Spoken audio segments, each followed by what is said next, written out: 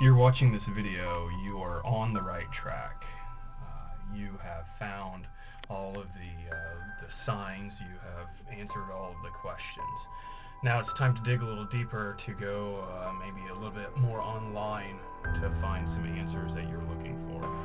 So if you would, if you want to continue your quest in this game where you are uh, just kind of figuring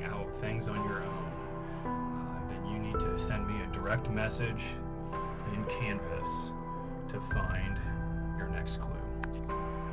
Send me a direct message in Canvas